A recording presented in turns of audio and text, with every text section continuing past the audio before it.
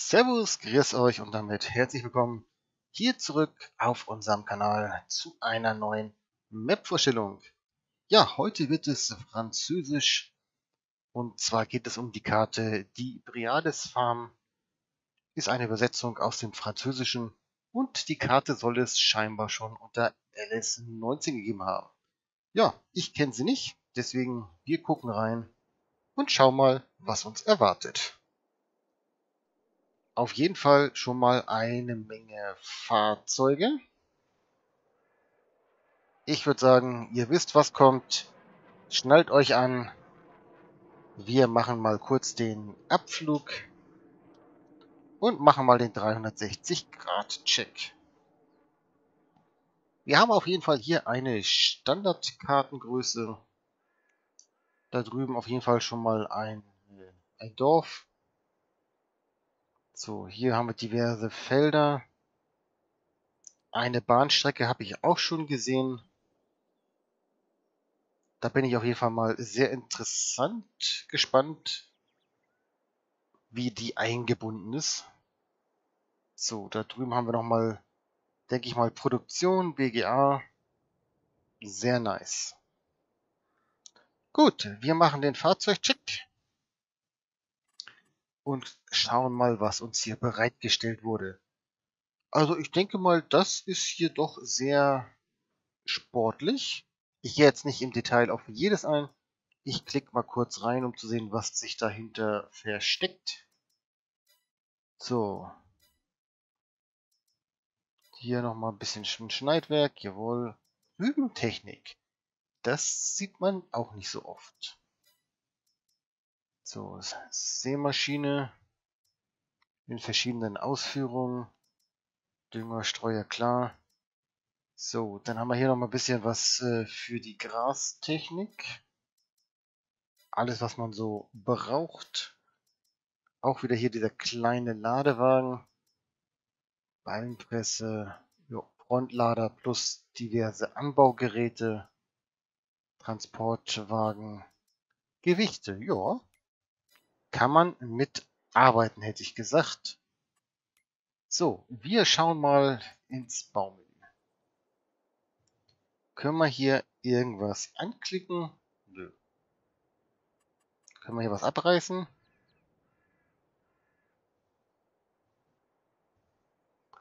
Also hier... Ah ja, das, das können wir abreißen. Das andere hier alles scheinbar nicht. Das geht. Kuhweide geht auch. Aber hier diese Mauern und so weiter. Nee. Die sind nicht abreißbar. Schade.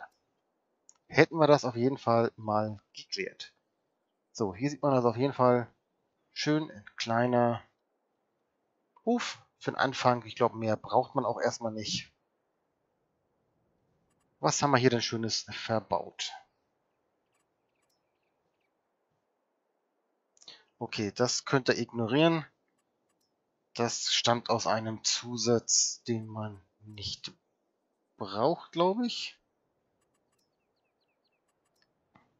Ähm, ihr braucht auf jeden Fall, äh, ich glaube, ein oder zwei Mods müsst ihr runterladen, beziehungsweise werden automatisch gefragt, ob ihr es runterladen wollt.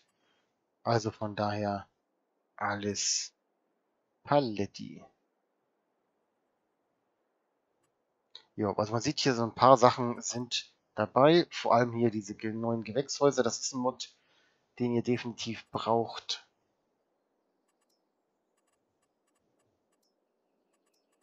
So, bei den Tieren sieht mir alles nach Standard aus. Gut, die Deko hier, jo, das ist auch alles Standard. Jetzt kommt das spannendste Teil. Bodentexturen. Also da haben wir auf jeden Fall ein paar mehr als gewöhnlich. Und hier bei den Bäumen haben wir auch eine schöne große Auswahl. Und ja gut, bei den bei der Wiese und hier bei den Büschen, äh, ja, das was ihr da seht. Und damit hat sich das Ganze schon. Jetzt bin ich mal gespannt. Wir äh, schauen uns mal die Kartenübersicht an. So sieht das Ganze hier aus. Gucken, ob wir alles drauf kriegen. Ja, also hier sieht man jetzt mal die Bahnlinie.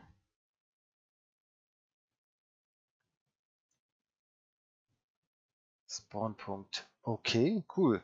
Ich würde sagen, wir gehen erstmal kurz das ganze Menü durch. Beziehungsweise gucken mal hier unten der Bereich, den habt ihr als neuen Farmer, wenn ihr anfangt. Und sonst die restlichen, ja, die Preise sehe ich jetzt mal als human an. Habe ich schon wesentlich teurer gesehen. So, einmal hier kurz das Menü durch. Was haben wir denn hier alles verbaut? Okay, das bis hierhin ist Standard und da haben wir noch ein paar Zusätze, ich glaube durch die Gewächshäuser. So, Hühnerweide, Kuhweide haben wir bereits vorhanden. Wir haben Feldmissionen, Produktionsketten müsst ihr erstmal kaufen und erwirtschaften.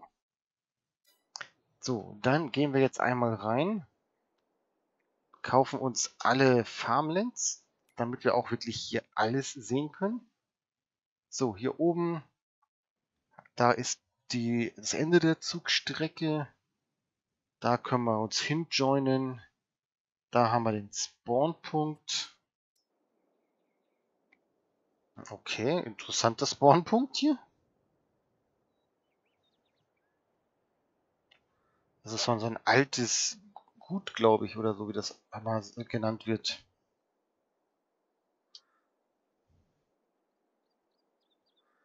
So, was haben wir hier eingezäunt? Auch so ein herrschaftliches Anwesen, würde ich mal behaupten. So ein kleines Wasserschloss oder so. Sehr nice. Kann das was? Ja. Großes Hotel. Okay. Sehr nice. Verkaufspunkt. Bäckerei. Tankstelle. Halt, da fährt der Zug lang. Okay, der fährt so rum. Das müssen wir uns mal merken. Wir gehen aber jetzt mal hier im Uhrzeigersinn. Schauen wir uns erstmal das Dorf an. Auf jeden Fall schon mal sehr schön gestaltet. Wir haben Personen, die hier rumlaufen. Wir haben KI-Verkehr, der relativ schnell abgebogen ist, muss ich gerade sagen. So, dann kommen wir hier zur Bäckerei, zur Tankstelle. So, hier zur rechten Seite haben wir auch wieder ein paar Punkte, die wir auf der Karte sehen. Unter anderem Gewächshäuser und einen äh, Markt, würde ich sagen, ein Shop, genau.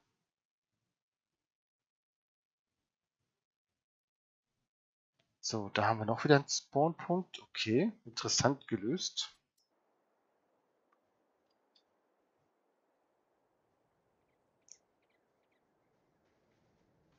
Okay. Passt. So, aber hier sehe ich auf jeden Fall schon mal wieder die nächsten Produktionen bzw. Verkaufspunkte, wenn ich das richtig deuten kann, ja. Biomasseheizkraftwerk, Schreinerei, Sojabohnenfabrik, okay. Käserei, Kalkstation. Dann haben wir hier als nächstes Campus Mensa, Verkaufsstation. Da gibt es noch eine Bäckerei, da gibt es wieder einen Spawnpunkt, okay. Und hier oben haben wir dann noch den Viehhändler und Verkaufsstation, Kalkstation. Dann gehen wir erstmal hier rüben rüber. Gucken uns das einmal hier schnell an. So sieht das Ganze aus. Auch interessant hier gibt es noch so ein paar Unterstellmöglichkeiten.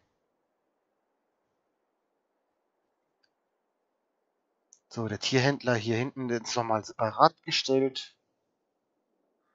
Und hier muss ich sagen, das ist jetzt nicht mehr clean. Also wir haben hier Markierungen, wir haben hier so ein bisschen äh, Dreck angedeutet, wir haben da vorne Fahrzeuge stehen. Also ein bisschen dekorativ gestaltet. Auch hier auch nicht so ganz gecleant, richtig so ein bisschen unterbrochen durch diese Flecken. Das macht nachher schon immer schon einen kleinen Unterschied aus, aber bewirkt eine ganze Menge. So, dann geht's hier weiter. Zwischendurch haben wir hier so einen Fluss, der hier durchgeht. So, da haben wir den Campus als Verkaufspunkt, wenn ich es richtig gesehen habe. So, dann hier der Kreisel komplett international. Und dann geht's da hinten auch schon mal weiter. Ah, hier ist Ende im Gelände. Hier kommen wir nicht weiter. Ende der Karte. Deswegen hier auch so ein bisschen als Sichtschutz nice gemacht, muss ich sagen. So, dann haben wir hier unten, man sieht eine ganze Menge an weiteren Produktionen, wie zum Beispiel die Ölmühle. Dann haben wir hier Verkaufsstationen, nochmal eine Tankstelle zwischendrin, Spinnerei, Fahrzeughändler, Schokoladenfabrik. Okay, das müsste man ja erkennen. Okay, na, ist ein anderes Gebäude. Aber trotzdem ist es hier sehr ansprechend, finde ich. Tankstelle. So, und hier haben wir jetzt den Zug.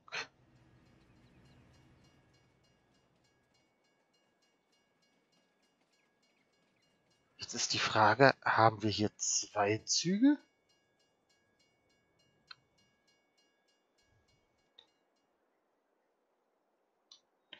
Das kriegen wir doch gleich mal raus, muss ich sagen. Also, wir haben hier einmal den Zug.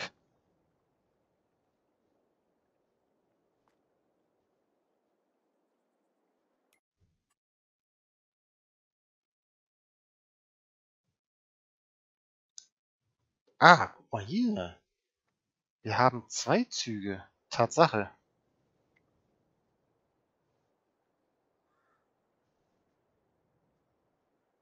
Der eine kommt jetzt erstmal zurück. Genau, auf dem Gleis.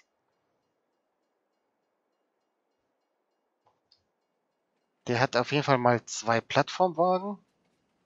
Und dann eins, zwei, dreimal Holzwaggons. Und einmal für Schüttgut. Ich vermute mal, dass wir hier den Zug nutzen können für das Waldgebiet da oben. Und dort kommt der zweite Zug. Und der hat hier definitiv dann für Getreide, Waggons und so weiter und so fort. Perfekt. Wir machen jetzt erstmal hier weiter. Hier ist die BGA.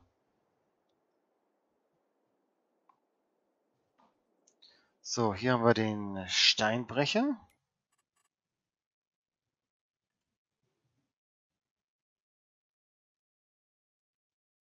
So, da haben wir wieder einen Spawnpunkt.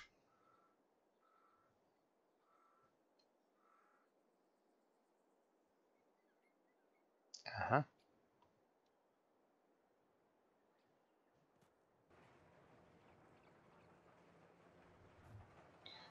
Lässt sich sogar öffnen. Okay, da geht's nicht raus. Das sind so kleine versteckte Gimmicks, finde ich.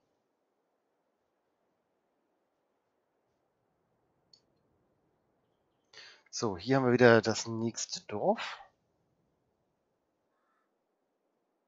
Auch da haben wir wieder verschiedene Produktionen, Zuckerfabrik, Bäckerei und Lebensmittelgeschäft als Verkaufsstation.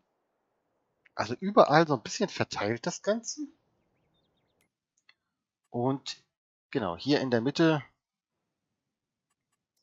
haben wir den Hofbereich, den wir ja eben schon gesehen haben. Also hier wirklich auch sehr schön gestaltet, muss ich sagen. Also es hat nicht viel, aber es reicht eigentlich alles, was man so braucht, würde ich sagen. Klein, aber fein. So, dann gehen wir jetzt hier weiter. Was haben wir da noch? Reitstall, eine Kaufstation. So. Der nimmt, der nimmt bestimmt Ballen an oder sowas.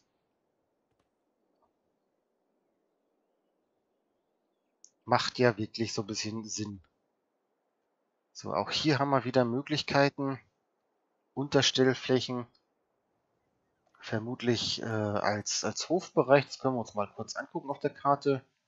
Ja, also das kann man hier kaufen, genauso wie den Bereich. Achso, der nicht, der hier.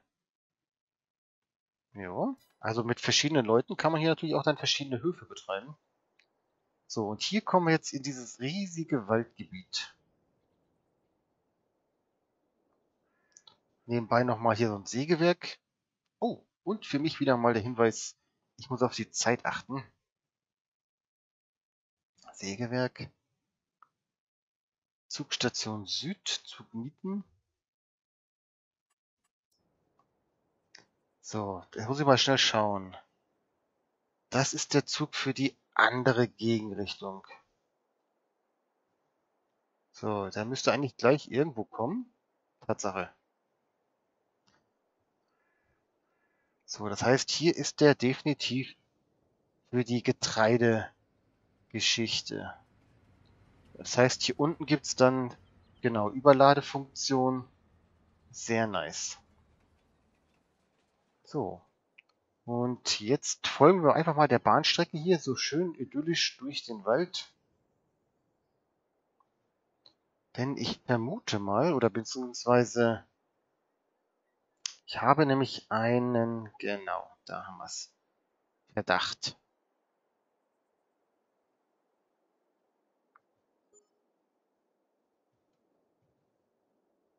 So. Dann haben wir nämlich hier vom Wald aus die Möglichkeit, den Zug, denke ich mal, zu beladen. Auf jeden Fall mal komplett mit äh, den Stämmen. Und hier vorne, genau, hier ist das Ende von dem, das heißt, hier werdet ihr aus dem Zug rausgeschmissen. Das ist schon mal eh klar. Aber ich muss sagen, es ist trotzdem sehr realistisch gemacht worden hier.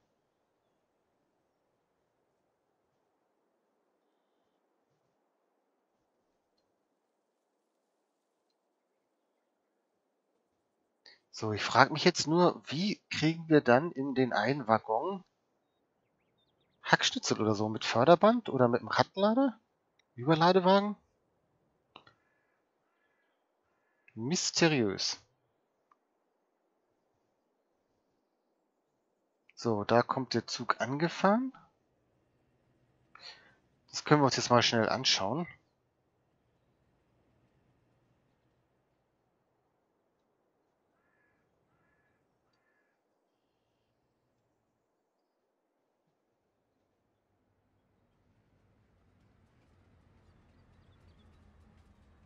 So.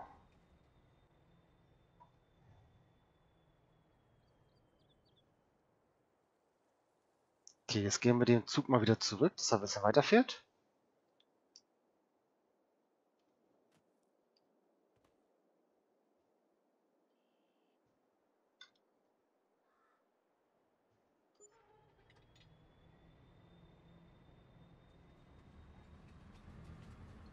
Also hier von der Höhe her kann man bestimmt reinladen. Und hier auch. Schön mit dem Radlader.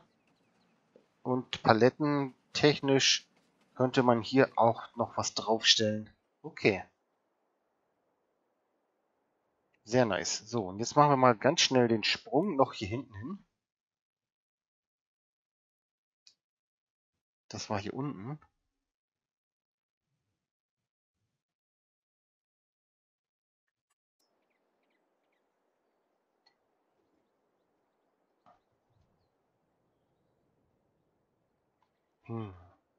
Jetzt bin ich trotzdem überfragt. Wenn man hier... Oder kann man Fahrzeuge auch schon draufstellen? Das wäre natürlich genial. Hier Fahrzeuge drauf, hoch oben den Forst rein. Das wäre doch glatt mal eine Möglichkeit zum Ausprobieren. Schreibt mal in die Kommentare, wenn ihr das gerne mal sehen wollt. Vielleicht ein kleines Antesten, äh, so ein kleines äh, Anspielen von der Karte. Würde mich mal äh, interessieren. So, und als letztes interessiert mich natürlich auch nochmal hier die Lok. Wie sieht das damit aus?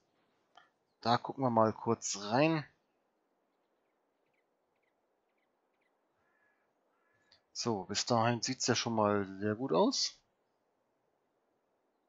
Nichts, was uns hier farblich anspringt. Also das sind schon etliche Zeilen.